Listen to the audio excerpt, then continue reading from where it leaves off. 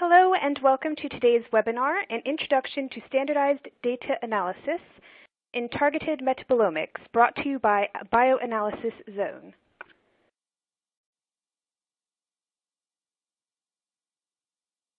My name is Pamela and I will be your host for today's event. I'm a production editor for Future Science Group, publisher of the journal Bioanalysis. We are delighted to have Therese Koal and Simon Schafferer from Biocrates Life Sciences presenting for us today.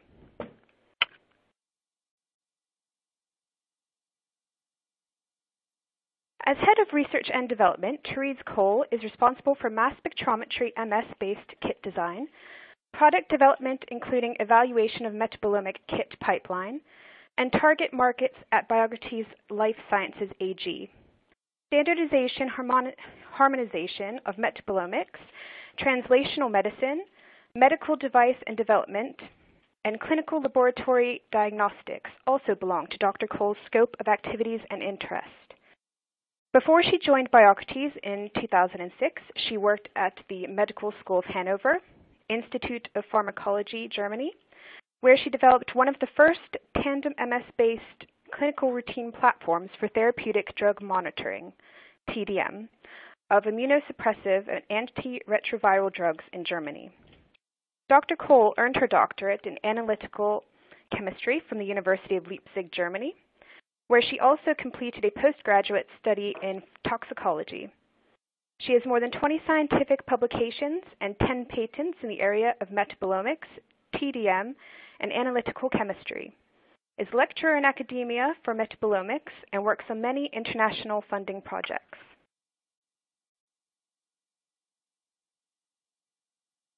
As software developer and biostatistical data analyst, Simon Schafferer is responsible for MetIDQ software development and biostatistical analysis of complex targeted metabolomics cohorts at Biocrates Life Sciences AG.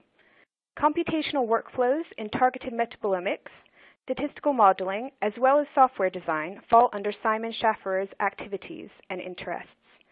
Before he joined Biocrates in 2015, he earned his PhD at the Institute of Genomics and RNomics, Innsbruck Medical University, Austria, where he also worked as a postdoctoral research fellow, focusing on genomics, next-generation sequencing, and microarray data analysis of small non-coding RNAs.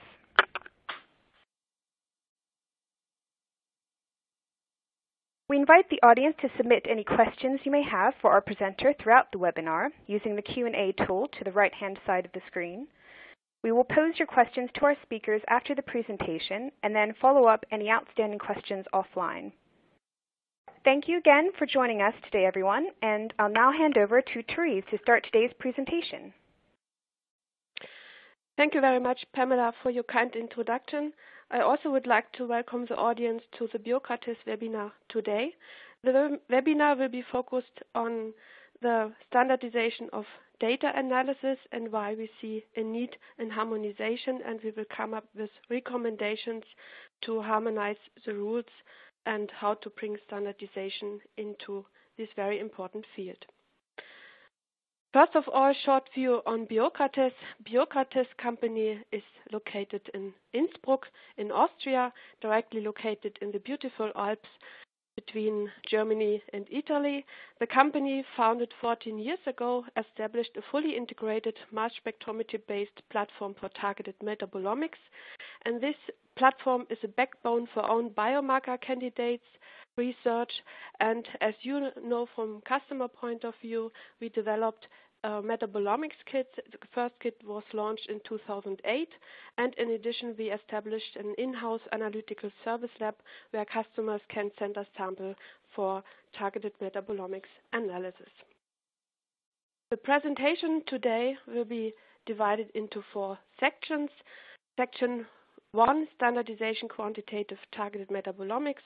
A very brief overview will be given in the beginning.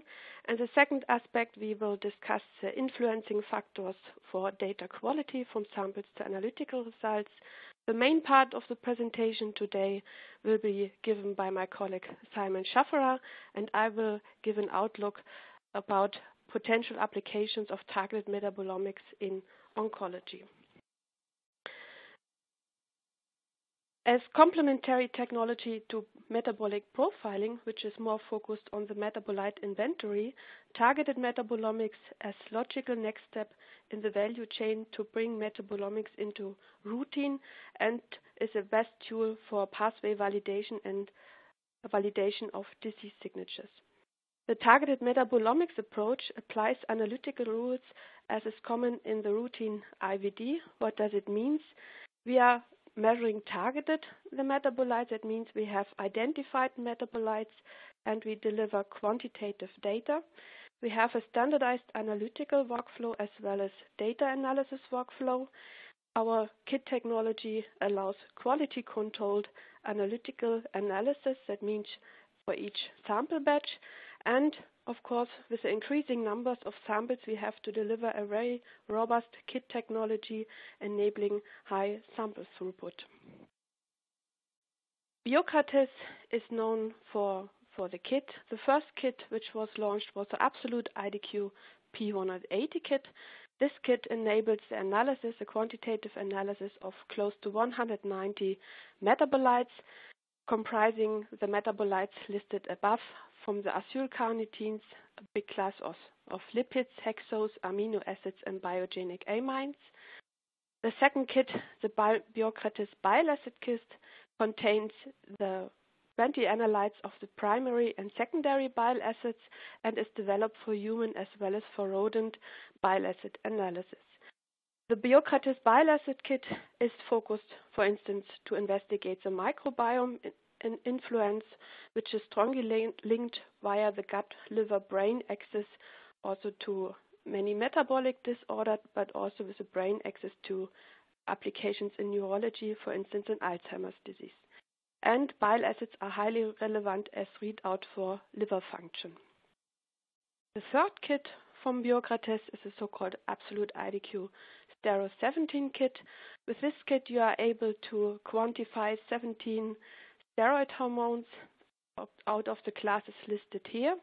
And the steroid kit is excellent tool for hormone profiling and both kits, the bile acid kit and Stero 17 kit are also very suitable to read out the downstream of the cholesterol metabolism because both metabolites classes are strongly strongly linked with this cholesterol.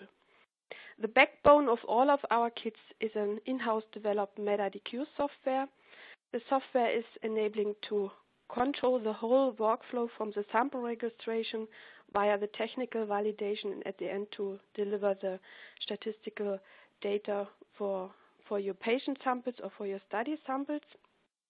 And also if you combine several kits, the software gives you the tool to combine analysis of several kits within one software.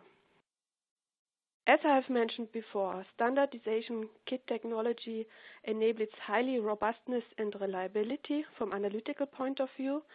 And reliability and robustness is driven by analytical precision and analytical accuracy.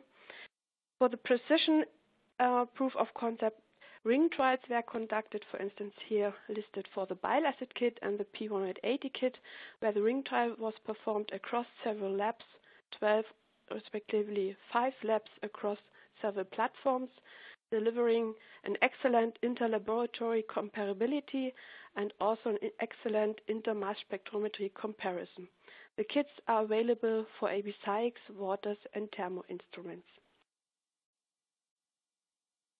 The second aspect, in addition to the analytical precision, the analytical accuracy is, uh, utmost, is of utmost importance. Sure et al demonstrated in an independent study and a comparison of amino acids comparing different technology platforms. He investigated the targeted metabolomics approach with the P150 kit and compared it to an untargeted metabolomics profiling approach. In the figure, you can see the correlation coefficient listed for the amino acids, and as we can see, we have excellent correlation, for instance, for proline and alanine, but we also have poor correlation for other metabolites. The logical next question is how to prove, uh, prove the accuracy for targeted metabolomics. For this purpose, we applied or we measured reference materials. For instance, the NIH deliver a NIST material, so-called 1950 material, with target values, for instance, for amino acids. And in the result, across all mass spectrometry platforms, we can deliver um, accurate, highly accurate comparability compared to the NIST standards. In addition, we performed a method comparison with an LDT lab diagnostic tech tool. The LC-MS based Quest diagnostic assay. And again, you see an excellent accuracy agreement between both technologies. In the results, this proves that targeted metabolomics kits demonstrate excellent and approved accuracy and robustness. As I mentioned in the beginning, there are other contributing factors to the quality of data. With the kits, we guarantee the analytical performance, but as you all might know, also the sample quality plays a very important role for highly robust and high value valuable statistical data. And with this, I want to hand over to my colleague Simon Schafferer because we see a strong need and also to common rules for data pre-processing and statistical analysis. And also, you will see with a pre-analytical sample quality marker, metabolomics gives you an excellent tool to read out within your metabolome analysis the pre-analytics, and this will be also covered within the next slides, chapter 3. So, thank you, Therese. Um, Let's start with standardized data processing. So first, I will give you a very brief overview of our product, the MetIDQ software. So as you might know, all of our kits uh, include the MetIDQ software, offering a harmonized workflow for targeted metabolomics from the sample registration to statistics. So it features an easy to use and powerful assistance in sample management, uh, data import, also in technical validation and result display and normalization.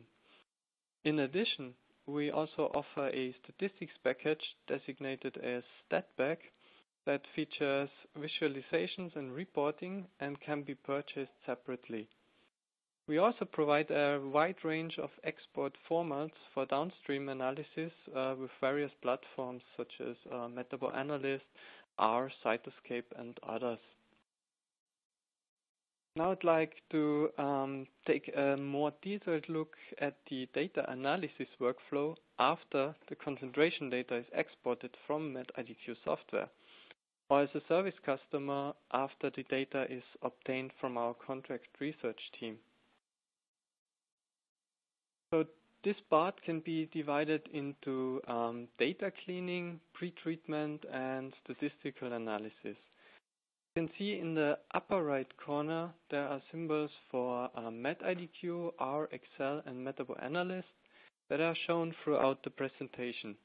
So these symbols indicate the software that can be used to easily obtain the re results suggested.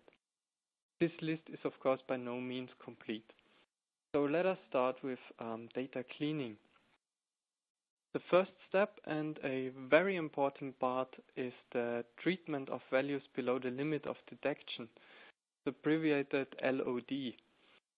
These are um, concentration values that are not distinguishable from noise and they depend on instrument or measurement characteristics, for example plate effects. Um, they may bias then the downstream analysis and they have to be treated therefore. For treatment of those values, we would suggest applying the 80% rule by exclusion of analytes with more than 20% values below the limit of detection. But of course, also less strict thresholds are possible. Um, as you can see on the bottom left, uh, we recommend considering the sample groups since it could represent a biological effect that, for example, in one group, more samples have a low concentration and therefore more values are below LOD than in the other. You can see here um, that tyrosine is uh, not removed from the data set as not all groups show more than 20% values below the LOD. However, it is also possible, but not recommended, to ignore sample group information, as can be seen on the right, since um, tyrosine would be removed in this uh, simplified example here, and a potentially valuable candidate would be lost.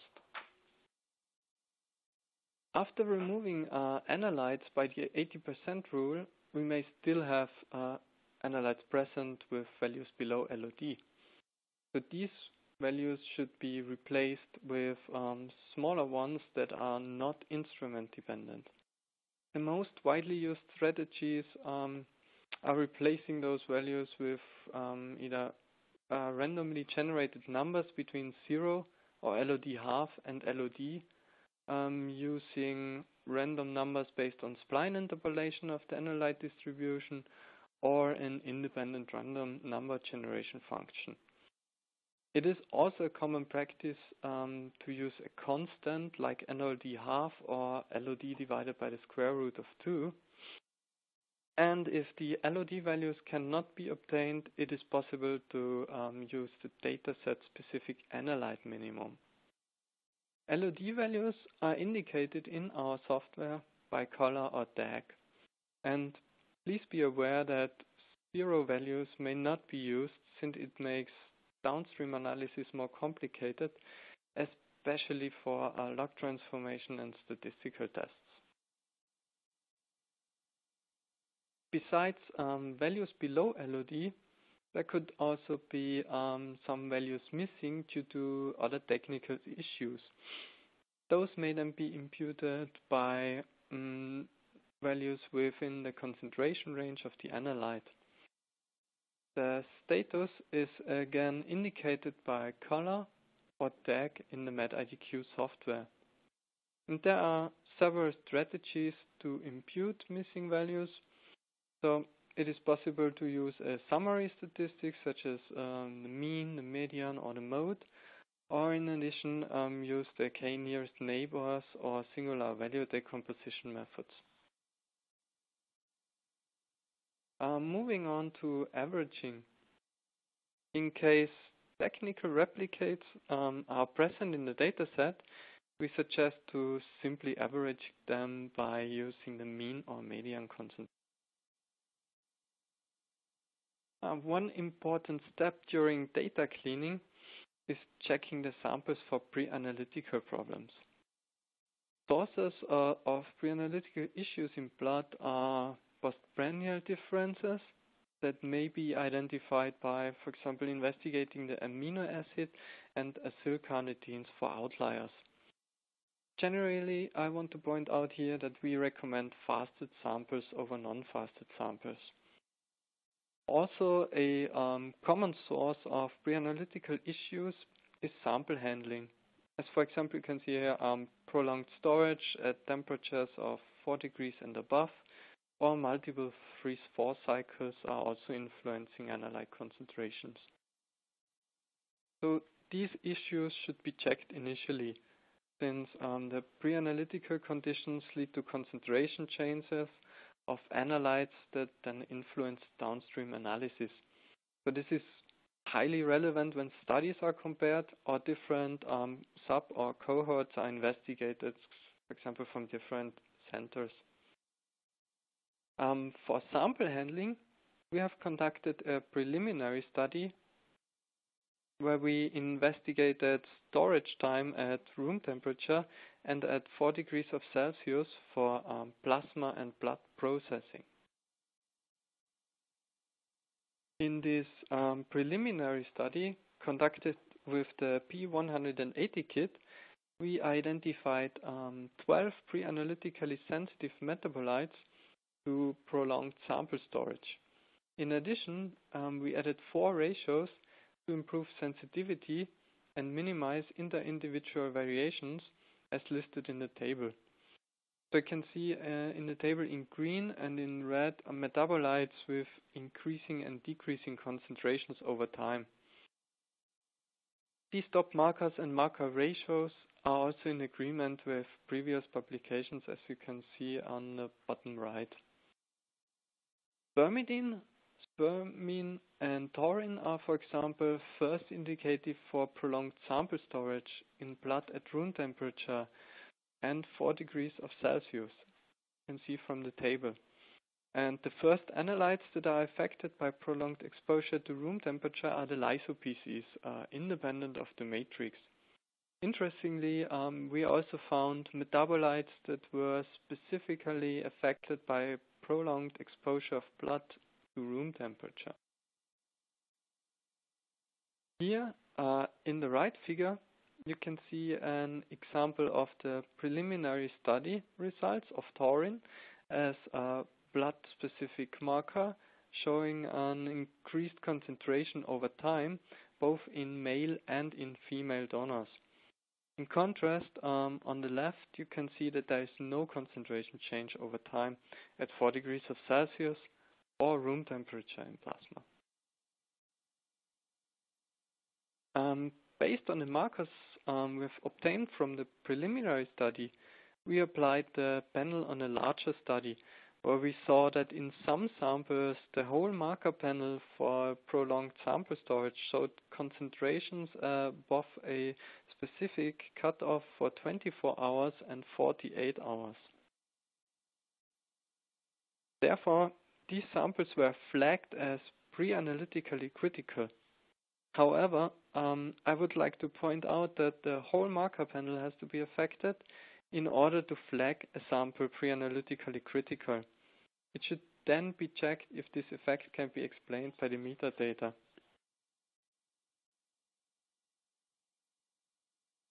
To emphasize the importance of pre-analytics, especially on biomarker candidates, an example is shown here how to convert a uh, control into an Alzheimer's sample by inadequate sample treatment.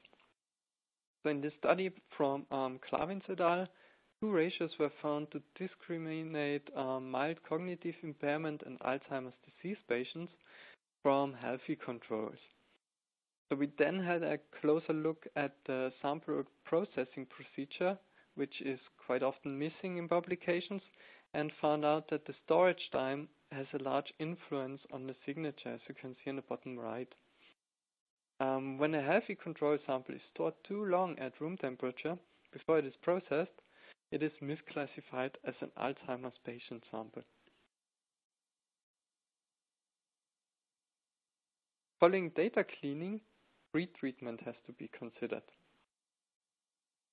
Thereby, scaling and centering of the data may be important as the P180 uh, kit contains uh, metabolites of a very wide range of concentrations. So with scaling you gain an equal contribution of high abundant metabolites, for example hexoses, or metabolites at very low concentration, the biogenic amines for example. Um, there are several scaling methods available and please refer to Van den Berg et al. for an extensive review. But two widely used methods in metabolomics are autoscaling and Pareto scaling. So on the right you can see um, the effect of scaling on some analytes of the P180 kit. Um, scaling may be used in multivariate data analysis and machine learning, but um, please be aware that the same scaling parameters have to be used when um, you compare different data sets and when biomarkers are validated. Data may also be transformed, or in other words, uh, nonlinear conversions of the data are made. Data transformations are often needed um, since concentration distribution of the metabolites may not meet uh, normal distribution assumptions that are required for the statistical tests. And popular transformation methods are the log transformation that also includes a pseudo scaling effect and power transformation, which is quite similar to log transformation. And log transformation is also um, implemented in the MetIDQ software, and you can see here on the right the effect of log transformation on skewed raw data. Um, next, uh, batch correction may be necessary since um, experiments conducted with different kit plates, uh, plate correction, um, may introduce systematic non-biological variations in the measurements. So a reference-based um, plate correction on the QC samples that is, for example, mainly used uh, for the flow injection part of the P180 kit uh, is already implemented in MetIDQ, where the concentrations of each analyte are scaled to a reference sample. So we generally provide um, quality controls with our kits and suggest um, using QC2 for the plate correction purpose but it is advisable for larger projects to also use a QC sample pool or other standards. Uh, normally, um, reference-based batch correction should be sufficient, though uh, if there is another systematic effect biasing the measurements, um, other methods for correction may be applied. And since these methods are based on the samples, a randomized plate design is required. So if this requirement is then met, um, a user may use a tool such as ComBat or include the batch information as a part of the linear model. But in, we generally recommend a randomized plate design also for the reference-based um, correction. Um, another important point is confounding. The confounder variable obscures the, um, the real effect of an exposure on outcome. As an example, a confounder could be age when the influence of smoking is investigated on the coronary heart disease, as you can see on the right, uh, abbreviated with CHD. So when age uh, is associated with CHD and smoking is also related to age, but not in a causal pathway, it will hide or distort the direct um, the association of smoking on CHD. For example, if one chooses old smokers and young non-smokers in the analysis, the effect of smoking is obscured by age. So these variables, um, if they are known, are normally um, best taken care of in the design stage by randomization, so randomly assigning patients to groups, or another method is matching of samples or restricting them to a certain age range. Example. Um, two commonly used approaches if one has to deal with confounders in uh, data analysis are the stratification of the dataset by certain variable, so we've chosen uh, gender here, or adjustment by including the confounder variable in the statistical model. The last step before the statistical data analysis um, is multivariate outlier detection. Very briefly, an outlying sample or analyte can influence statistical results and uh, may mask effects of interest. And these outlying samples or metabolites may be identified by um, principal component analysis or visualized um, by a heat map. Due to um, the time restriction, I will now just briefly mention some statistical data analysis concepts um, that may be performed at the end of the analysis. In univariate data analysis, sample group differences can be identified and statistically evaluated. This um, can be done in MetIDQ by for two or multiple groups um, with different methods depending on the type of, uh, of data at hand. These are classified here as parametric or non-parametric, in other words, uh, with or without assumptions about the probability distribution, uh, further as unpaired or independent and paired data, for example, repeated measurements. Uh, the multivariate data analysis is used to reduce um, a large number of uh, variables to a smaller number of factors in order to reveal hidden structures in the dataset like trends or groups.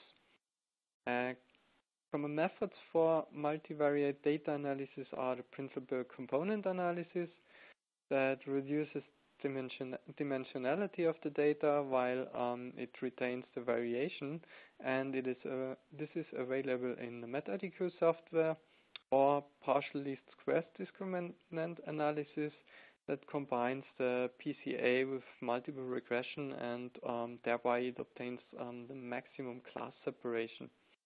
So an example, at the bottom, sometimes data can be separated in higher dimensions.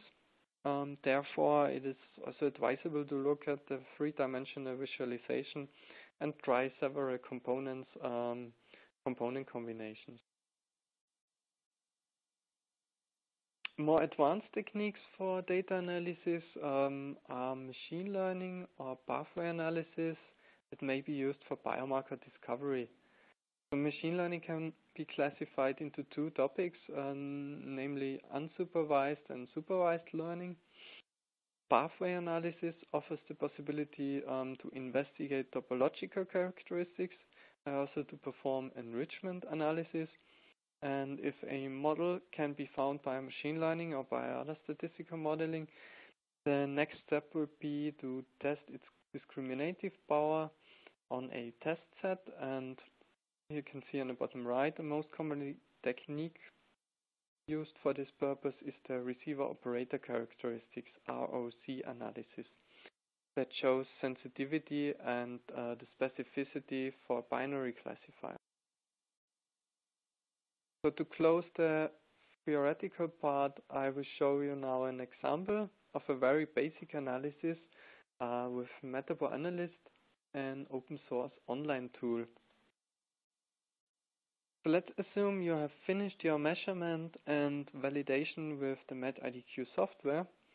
You can export the normalized and validated concentration values in a MetaboAnalyst compatible format.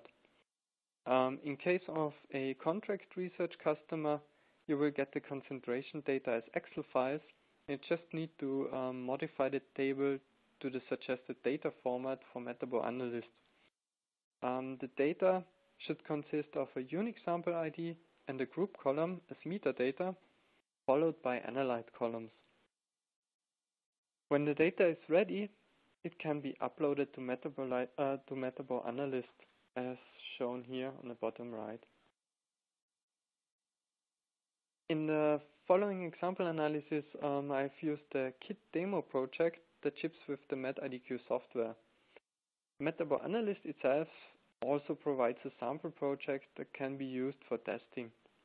So in the very first step, um, if you can recall, is data cleaning. Um, MetaboAnalyst offers here for example, the removal of metabolites with uh, at least 20% missing values. The remaining values below the limit of detection can be replaced by the analyte um, or column minimum, for example. The next step um, is data pretreatment, where it is possible to uh, normalize the data but let us uh, assume we have already done this through the QC2 normalization in MetIDQ, so I selected none here. Um, we suggest the log transformation as data transformation method to treat skewed data. And finally, um, Pareto scaling can be used to adjust for concentration differences. On the right, um, you can see the result of transformation and scaling with reference to the raw data very high and very low concentrations are balanced and the skewed distributions are transformed to a more symmetric distributions to meet the normal distribution assumption. Um, for statistical analysis, MetaboAnalyst features quite some advanced statistical techniques.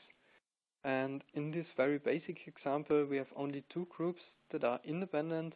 So we performed uh, a t-test to see the mean differences uh, of each analyte. You can visualize the statistical significance with a volcano plot showing the p-value on the y-axis and the fold change on the x-axis. We can see here the mean concentration differences of serine as box plot when clicking on an analyte in the volcano plot. A detailed view would appear when clicking on the spreadsheet symbol. For multivariate analysis, it is possible um, to use, for instance, a principal component analysis with several options as indicated at the top of the slide. I will not go into details here since uh, MetaboAnalyst itself features a comprehensive tutorial. In the figure to the left, um, the variance of the principal components when the PCA is applied to all metabolites is shown. And each dot here represents a sample, and the first component, as you can see here, is able to nicely separate the two groups.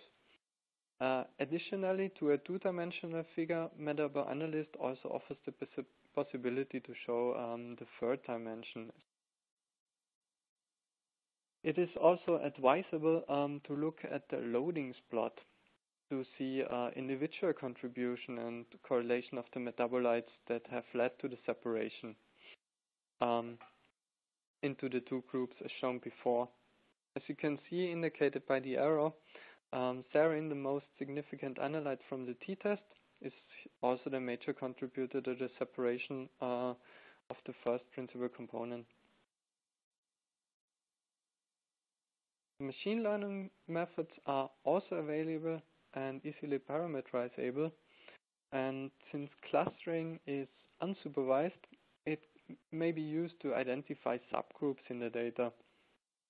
Or um, shown here, highlight metabolites that contribute to the group separation by using, as you can see in the bottom, a heat map visualization. Here we only show the top 25 metabolites uh, based on the t-test results. It is also um, possible to perform classification, as for instance, uh, based on random forests. In this case, data can be nicely separated with, uh, without misclassification. And at the bottom right, you can see um, the most interesting metabolites, including their fold changes. Finally, I want to show the possibility to perform um, receiver operating characteristic analysis in MetaboAnalyst. So it is possible to add the top computed metabolite ratios, but um, please be aware that those are just the best performing from all possible combinations of analytes and they do not reflect biologically meaningful ratios. Again, um, data pre-processing steps can be done, but also keep in mind that scaling is based on the current data set only and uh, it might change in a potential validation study. So I've chosen none here. Um, the tool finds then the metabolites with the optimal discriminative power and lists them in a table. And these analytes uh, or ratios, also ratios, can then be examined in detail by an ROC plot. We have chosen a PC lipid as an example that features an area under the curve of 0.98. Now I want to close uh, the standardized data preprocessing part. So if you do not have the possibility to perform the recommended steps um, I've just shown by yourself, we offer sophisticated statistical analysis as a service for KIT and for contract research customers. So with this, I would like to hand over to Therese again. Thank you very much, Simon, for your very comprehensive overview about the data preprocessing and data analysis. As we have seen how important the data preprocessing is, it is also very mandatory in the data analysis to combine the know-how of the pure analytics, including tech validation and data preprocessing, which is mainly focused on single metabolites, with the competence and know-how of biochemistry, biology, and disease know-how to come up with highly robust metabolic disease signatures. As I tried to list it here on the presentation. To bridge the link between single metabolites and metabolic signatures, it is there are logical sums and ratios of the existing single metabolites which are obvious to express and explain biochemistry basic pathways or enzyme functions or pathophysiological processes. For instance, if you have the readout of the amino acids, for instance in the P180 kit, you can easily build sums, for instance the sum of the aromatic amino acids, which are phenylalanine, tyrosine and tryptophan, or you can make the sum of the branch chain amino acids, meaning, meaning valine, leucine, isoleucine. With the branch chain amino acid sum, you get a very good indication about the short-term control, metabolic control, for instance. And if you then build a ratio of the branch chain amino acids with the aromatic amino acids, you get the so-called Fischer ratio. And the Fischer ratio is a very good indicator for liver damage. Also, other metabolite classes like the lipids, you can build up sums and ratios for instance, the ratio of the total lysophosphatidylcholine cholines to the total phosphatidylcholine cholines, you get an indication for the phospholipase activity. To highlight the link between the pathophysiological and the measured metabolites, for instance, in the P180 kit, I have prepared an overview to illustrate the link between the metabolites and pathophysiology. In addition to very specific disease metabolic alterations, diseases undergo common overlapping pathophysiological processes. These pathophysiological processes are resulting in dysregulating processes in the body as a whole systematic consideration. That means with the metabolites measured in the P180 kit, you can get more insights, for instance, in mitochondrial dysfunction, measuring the or analyzing the uh, acylcarnitines, insulin resistance, which play a major role in many diseases like um, diabetes, oncology, and even in neurology. You can read out the insulin resistance based on the branch chain amino acids, acylcarnitines, and specific lipid species. And if you are focused on the cell ca uh, cancer research, also cell cancer signaling like mTOR activation, PI3 activation, or T cell stimulation can be read out by the metabolites measured in the P180 kit. I have selected two examples in, at the end to demonstrate the power of targeted metabolomics. This slide shows you an overview about a brand new publication from Miolo et al. In, published in OncoTarget. The focus of this publication was to apply the P180 kit to find biomarker signature for the prediction of therapy response in breast cancer. This is highly uh, attractive for patient stratification because if you can distinguish the patients for good and non-response, you can easily select the patient who undergo first uh, a chemotherapy to reduce the tumor size, followed then by the surgery, or if you identify patients who are not responding to chemotherapy, you can start immediately with the surgery. In this study, a neoadjuvant chemotherapy with a two-drug combination was investigated in HER2 positive breast cancer patients, and the patients were be divided into two groups, good and poor responder based on the complete pathological response. In the results, based on the P180 kit, significant alteration could be obtained for amino acids, biogenic amines, and lipids, and the best metabolic signature that differentiate good from poor responder was the ratio of tryptophan and spermidine.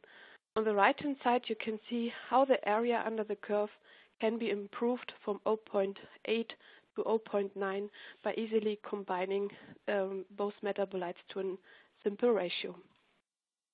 Spermidine, known as cell growth and differentiation interaction, improves the paclitaxel activity, paclitaxel 1 of the drug, and tryptophan, which is known as modulator for the immune system, shows highly relevant for the immune-mediated activity of trastuzumab. In conclusion, it could be demonstrated with a study that the role of the individual patient metabolism play a very important role in the response to cancer treatment, and this research or this publication demonstrate very impressively how you can improve the statistical discriminating power by formation of ratios.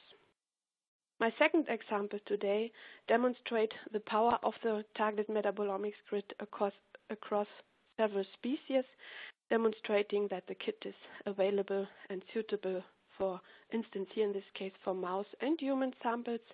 In this publication around the group from Florence Raynaud from UK, this was the first study combining mouse and human, uh, followed by human studies based for oncology.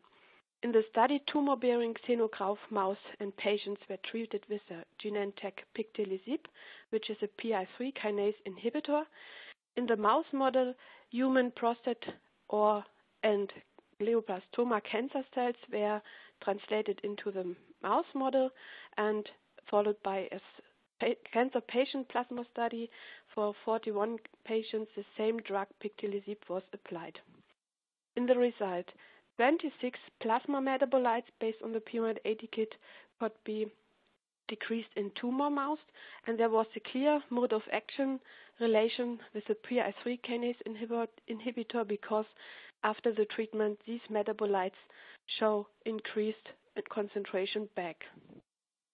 With this study, where you had access also to human study samples, it was the first study that 22 out of these 26 plasma metabolites from the animal model could be confirmed as well as time as well as dose dependent in the phase 1 clinical trial.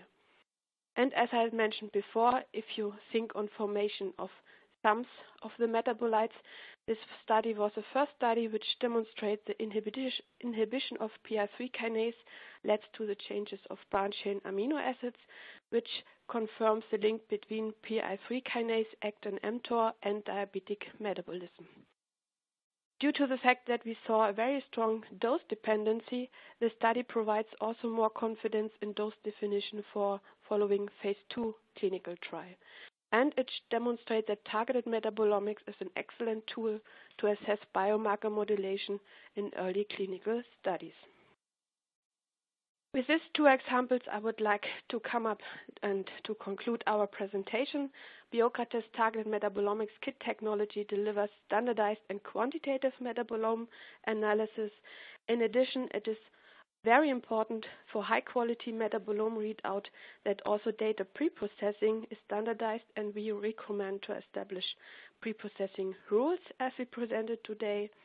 And as I pointed out at the beginning, there is a need for harmonization from pre to post analytics for high valuable metabolic phenotyping. With these requirements, I'm completely convinced that the targeted metabolomics delivers high valuable contribution to precision medicine. That means we can read out the in patient individual metabolic phenotyping, which I have presented here for mode of action of drugs, or if you can use it for patient stratification. With this, I would like to thank you very much for your attention, and we are open for the questions. Thank you for that very insightful presentation. I hope our audience found it of great interest. If you do have any questions, then please continue to submit them using the Q&A tool in the right-hand side of your screen. And we have received a number of questions so far, so we will address some of those now.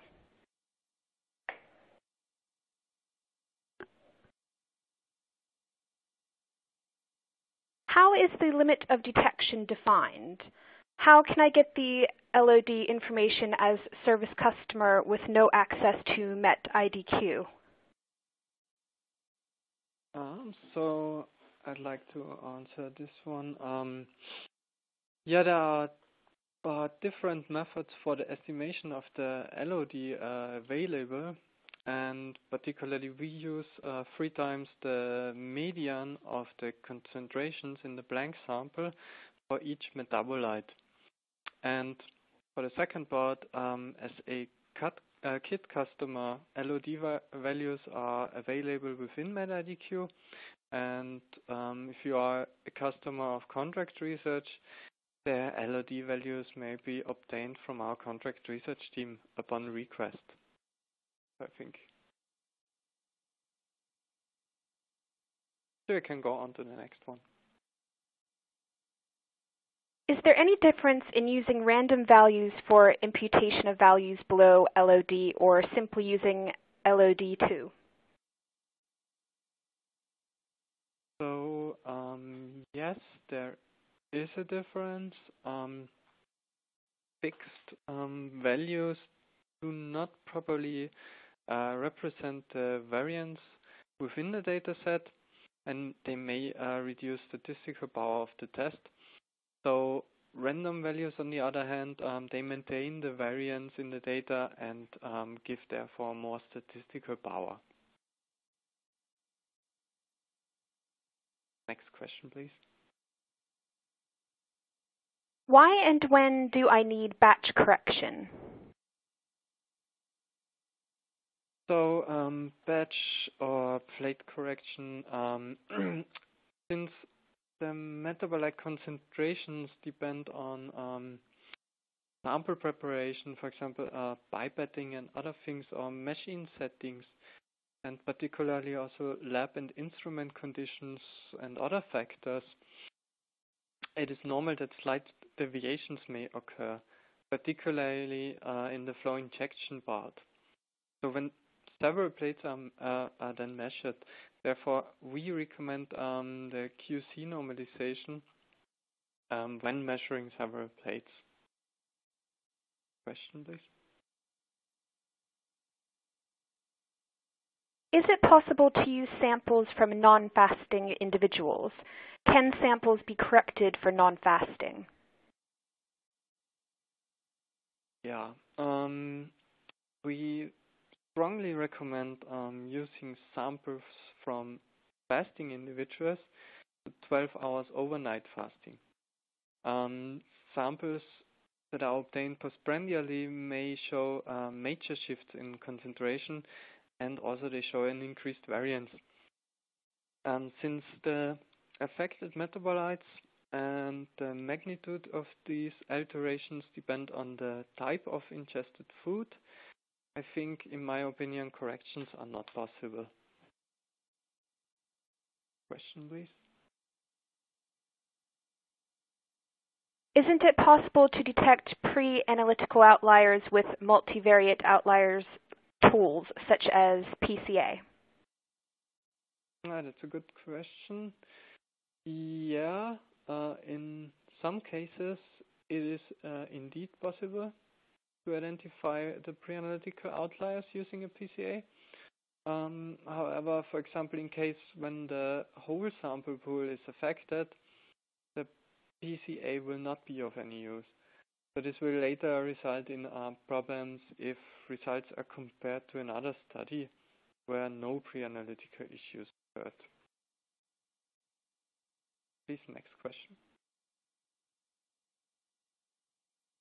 Do you have a standard set of sums and ratios that you apply in your data analysis? Ah, yeah. Yeah, we do have a uh, large set of biologically relevant sums and ratios. Um, they are all included also in our Ratio Explorer module in the MetIDQ software, and this module can be purchased separately. So um, yeah, I think for details, please just contact our sales crew. Next question. How many of my samples can I measure on a P180 kit plate? Yeah, um, typically quality controls, um, blanks, and also standards, uh, they take up some of the wells on the P180 kit plate. So depending on the number um, of replicates of quality controls you measure, um, 78 to 80 samples can be measured on a plate. But we also offer um, half kit plates in case of you have a lower sample volume, which allow allow measurements of 40 to 42 samples. And yeah, I would like to point out, according to um, the guidelines for bioanalytical method validation, so EMA or FDA guidelines, we uh, recommend um, that you load this uh, quality control after every 20 samples. Question, please. For what kind of disease indications the P180 kit is most suitable? Uh, or in other words, why the, is the P180 kit metabolites show alterations in so many diseases? I would like to answer this question. This is a very excellent question. Thank you for this question. Um, why we cover so many diseases. The, I tried to point it out within the presentation that, for instance, in the P180 kit, we cover the metabolite classes, classes which are playing a very important role for the central pathways and, and the central key uh, rate limiting enzymes. For instance, the insulin resistance plays a very important role and is a, a very key aspect in many diseases like neurology, uh, Alzheimer, MS, diabetes, and oncology. And therefore, we are addressing the common pathophysiological processes and to get more specificity in your metabolic or biomarker candidates, you have to work with combination of metabolites to guarantee sensitivity as well as specificity. Thank you. Next question. What other metabolites or metabolite classes can you measure? It's Teresa again. I would also like to answer this question. Um, as you have seen in the kit, we are able to quantify up to 200, 240, depending on the biological matrix metabolites. As contract service in-house, we deliver quantification of more metabolite classes, for instance, the fatty acids based on GCMS, the neurotransmitter. We have an extended set of lipids in-house available. We are measuring prostaglandins, eicosanoids, oxysterols, and we developed a new assay for energy metabolism, which was recently launched and is available for customers for instance, who don't have mass spec in the lab, they can send us the samples for service analysis. Next question, please. Do you have other data on accuracy of the analytics than on the amino acid data you have shown before? Thanks for this question. Um, as you know, as a metabolomics community, metabolomics is quite new, and there is in general a gap of, uh, let's say, proficiency test programs. What we have seen or what we can deliver, for instance, for steroid hormones, which are clinically established metabolites, there are, of course, proficiency test programs available. We are participating on a European proficiency test four times a year. Data can be uh, obtained on request. On the other side, we are highly interested in to compare our kit technology with other independent methods to demonstrate the accuracy and precision. And of course, we are working with reference materials, as I have mentioned in the presentation with the NIH NIST material 1950. Uh, and I know there are more NIH reference materials in the pipeline, for instance, for the broad area of lipids.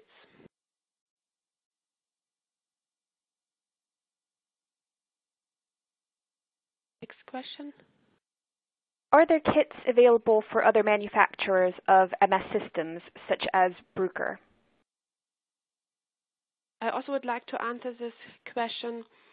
The kit technology and also the targeted metabolomics technology is based on triple quadrupole MS instruments for Waters, AB SCIEX, and Thermo. Bruker is currently not in the program, but we are working in on to expand the MS vendors to make our kits available there. And please be aware, in the very near future, we will launch more application on new mass spec instruments. I'm afraid that is all we have time for today, so we will address all the other questions offline. If you do have any other questions, um, please feel free to send them to webinars at bioanalysis-zone.com.